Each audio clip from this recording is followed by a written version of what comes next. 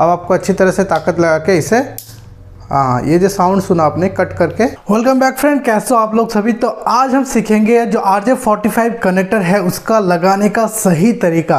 तो मार्केट में दोस्तों, आप जब भी देखेंगे तो आपको दो तरह के R J forty five connector मिलेगा। जो ये है, एक नॉर्मल जो हम बहुत दिनों से यूज़ करते आए हैं, ये आईवल की तरफ़ से आने वाला एक कनेक्टर है। और दूसरा जो है, अभी नया नया मार्केट में आया है, वो है ये पास थ्रू कनेक्टर जिसमें आगे के साइड से आप देख सकते हैं, यहाँ पे एक कटआउट रहता है, जिसमें सारा जो वायर है वो पास हो जाता है और आपका जो कनेक्शन है वो करना बहुत ही इजी हो जाता है। तो इसके अलावा आपको ये पंचिंग टूल चाहिए होगा, जिससे हम पंच करेंगे। मैंने यहाँ पे कैटसिस का एक छोटा सा टुकड़ा लिया है, दिखाने के लिए कि कैसे कनेक्ट करते हैं। तो सबसे पहले जो है, आपको कुछ इस तरीके से इसको छील लेना है। छीलने के बाद जैसे कि देख सकते हैं, ये है सील्डेड कैट सिक्स तो ये इसका जो सील्ड है, इसको आपको निकालना है। और यहाँ पे देख सकते हैं टोटल चार पेयर है, यानी कि टोटल आठ वायर आपको मिलेगा।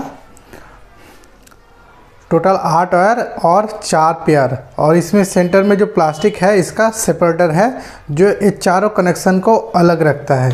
तो सबसे पहले कुछ इस तरीके से आपको छील लेना है। उसके बाद सेंटर का जो प्लास्टिक है, इसको आपको काट देना है। उसके बाद सभी जो वायर है, उसको आपको जो ट्विस्ट है, इसको खोलना पड़ेगा और सीधा करना पड़ेगा। कुछ इस तरीके से आपको सीधा करना पड़ेगा वायर को। तो सारा जो वायर है, मैंने कुछ इस तरीके से सीधा कर लिया है। अब इस तरीके से सीधा करने के बाद आपको इसको अलाइन करना है।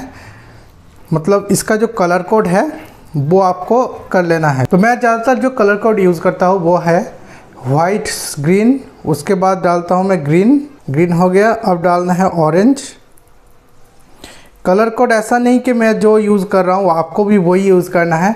बस आपको ध्यान रखना है कि मैं एक बार आपको एक चीज़ अच्छी तरह से बता देता हूँ कि कलर कोड ऐसे एक्चुअली के काम क्या करता है, काम कैसे करता है। तो मान लीजिए यहाँ पे एक दो, तीन,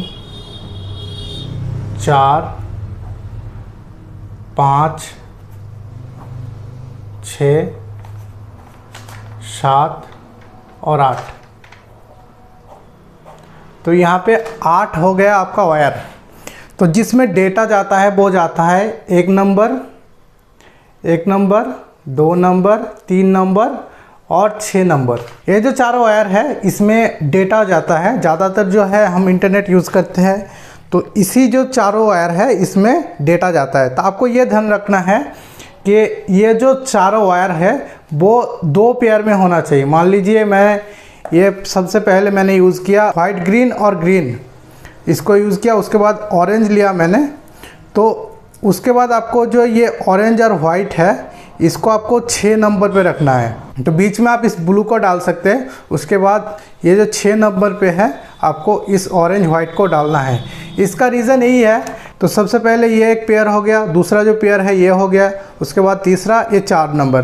तो ये जो चार पेयर हो गया, हमारा जो डेटा जाता है, वो जाता है एक, दो, तीन और छः तो हमको ध्यान रखना है कि एक, दो, तीन और छः जो दो पेयर में ही जाना चाहिए। क्योंकि अगर सेम पेयर में नहीं जाएगा तो डेटा जो है, वो डिस्टर्ब होगा और आपका जो स्पीड है, वो कम भी हो सकता है और इंटरनेट जो है, वो नहीं भी चल सकता है। इस चीज़ का आपको ध्यान में रखना होगा कि ये जो दो पेयर है, इसी में हमारा डेटा जाना जाएगा। तो इसको आपको क्या करना है? एक, दो पे आपको, एक, दो, तीन। एक, दो, तीन में हमने इसको रख लिया और जो छः नंबर होगा उसमें हमको ये ऑरेंज डालना है। और आईपी कैमरे में क्या होता है? ये चारों जो पेयर है, इसमें डेटा जाता है। उसके बाद ये जो पेयर हो गया लास्ट में सात और आठ, इसमें जाता है पावर इसमें जाता है पावर आईपी कैमरे में ये जो लास्ट दो पेयर है, इसमें जो है पावर जाता है। ये जो एक पेयर रह गया ब्लू और ब्लू वाइट ऐसा नहीं है कि ये एकदम बिल्कुल भी काम नहीं आता, लेकिन नॉर्मली जो हम यूज़ करते हैं, उसमें इसका काम नहीं आता। तो आपको कलर कट आप जो भी यूज़ करें, आपको ये ध्यान रखना है कि एक, दो, तीन और छः दो पेयर में ही रहना चाहिए, ठीक है? मतलब ये जो तीन और छः है, ये जो पेयर है ऑरेंज का, इसको आपको तीन और छः में रखना है। बस सिंपल सा चीज़ है, ये आप समझ गए तो आपका बहुत ही इजी हो जाता है कनेक्शन मैं जो कलर कोड यूज़ करता हूँ आपको एक बार मैं जो ज़्यादातर कलर कोड यूज़ करता हूँ, वो है सबसे पहले मैं रखता हूँ ग्रीन वाइट उसके बाद ग्रीन उसके बाद मैंने ऑरेंज उसके बाद ब्लू उसके बाद ब्लू वाइट उसके बाद ऑरेंज वाइट उसके बाद ग्रे वाइट और लास्ट में जो है ग्रे तो ये है मेरा कलर कोड ज़्यादातर मैं यूज़ करता हूँ। ज़रूर नहीं है कि आपको भी इसी कलर कोड यूज़ करना चाहिए। आप अपने हिसाब से यूज़ कर सकते हैं, लेकिन आपको इस चीज़ का ध्यान रखना है, जो मैंने अभी अभी आपको बताया। फिर इसको हम सीधा करके कट कर लेंगे। और आप अगर बिगिनर हो तो आपके लिए बहुत ही ईजी होगा। ये जो पास थ्रू कनेक्टर है, जिसमें से ये जो कटआउट है, देख सकते हैं। ये यूज़ करना आपके लिए इजी होगा। लेकिन आप थोड़ा बहुत प्रोफेशनल हो, आप बहुत दिनों यूज़ किया है तो आपको ये जो कनेक्टर है, ये यूज़ करना चाहिए। इसको यूज़ करने के लिए आपको एक राइट शेप में इसको काटना पड़ता है, ताकि कनेक्टर जो है अच्छी तरह से दिखे, ख़राब ना लगे। तो बेहतर होगा आप अगर बिगिनर हो तो आपको ये जो पास थ्रू कनेक्टर है, इसको यूज़ करना चाहिए। इस, ये जो है आपका काम ईजी कर देगा। तो अभी इसको इसका अंदर डालना है। कनेक्टर को जो है कुछ इस तरीके से आपको पकड़ना है और इसके अंदर डालना है। देख सकते हैं, ये जो है अभी ऊपर से निकल रहा है सारा जो वायर, ठीक है? तो ये हो गया।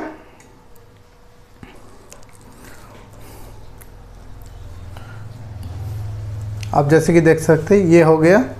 और आपको क्या करना है, इस पंचिंग टूल में इसको डालना है, कुछ इस तरीके से डालना है। यहाँ देख सकते हैं, इसका एक सेप बना हुआ है। तो इस सेप में आपको अलाइन करके डालना है।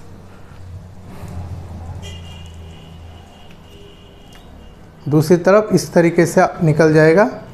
तो आपको कुछ इस तरीके से अंदर तक डालना है। अब ये अंदर और नहीं जाएगा। अगर आप पुश करेंगे तो भी ये अंदर नहीं जाएगा, क्योंकि ये सही पोजीशन में अभी आ गया है। अब आपको क्या करना है? अब आपको अच्छी तरह से ताकत लगा के इसे हाँ ये जो साउंड सुना आपने, कट करके तो ये का हमारा जो कनेक्टर है, वो रेडी हो गया। अभी आपको अगर निकालने का कोशिश करेंगे तो ये नहीं निकलेगा।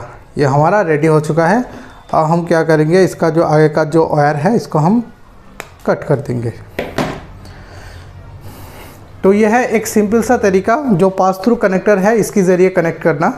तो ये हमारा आर जे फोर्टी फाइव जो है, एकदम रेडी हो गया है। और उम्मीद है ये कलर कोड भी आपको समझ में आ गया है कि कौन सी पोजीशन में आपको कौन सा वायर डालना है। और दूसरी तरफ़ भी सेम सेम कनेक्शन होगा, लेकिन इस तरफ़ हम क्या करेंगे?